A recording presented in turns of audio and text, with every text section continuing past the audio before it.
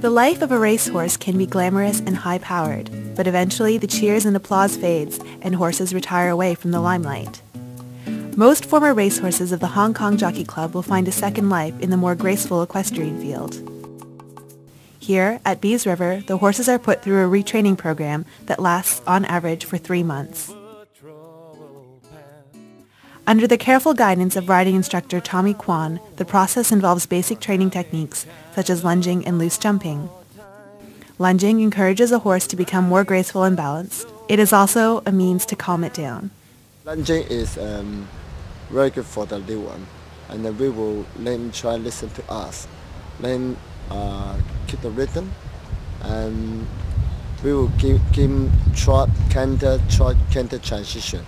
Make him listen and after the uh, transition canter, we will make him walk.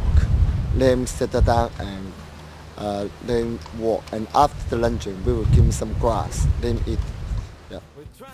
About 250 horses will be trained this season, and about 90% of them will succeed in becoming equestrian horses. We have one program, which is just a donation program, where we'll send up to 100 horses a year to China then some other smaller shipments um, into Southeast Asia. Um, and some horses will go on, uh, especially Malaysia, and then sort of compete at a higher level there with some members.